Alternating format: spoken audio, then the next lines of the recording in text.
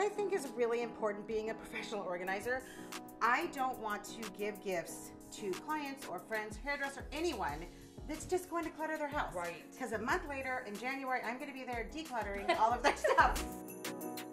I have a list of everyone that I need to buy for. So this isn't like family gifts and kid gifts. This is just like all the hostess gifts that you're gonna need, all the housekeeper, the gardener, the hairdresser, the mail carrier, teachers, coaches.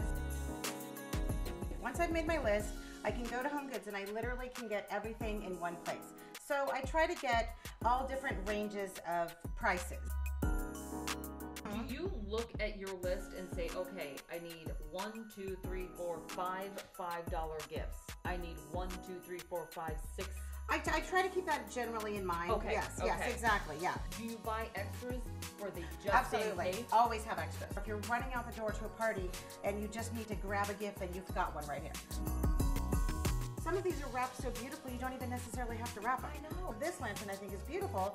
Uh, You know, when, when all the snacks are gone, you just put a candle in this. It goes on the front porch, and this will last all year round. And what's so neat is all you do is take off the ribbon, and then you have a beautiful lantern. I just want them to be useful. I want people to be able to use them beyond just getting the gifts.